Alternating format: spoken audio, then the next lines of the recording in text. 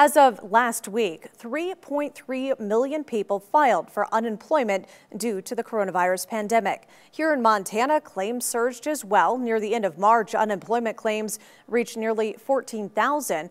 We're talking a 1,700% increase over the previous week. Many have lost jobs due to the shutdown of non-essential businesses. In some cases, these businesses are forced to pivot, changing the way they once provided services. Local tip agency Express Staffing says they are still open and ready to help people. Uh, you, you know, I don't think that there's a slowdown. I think that for the right candidates with the, the right credentials and skills, there is excellent opportunities right now for placement. Some really good companies here in Great in Great Falls. Now, they are taking applications and asking people to call to do a phone interview for positions if you are in need of work or of workers.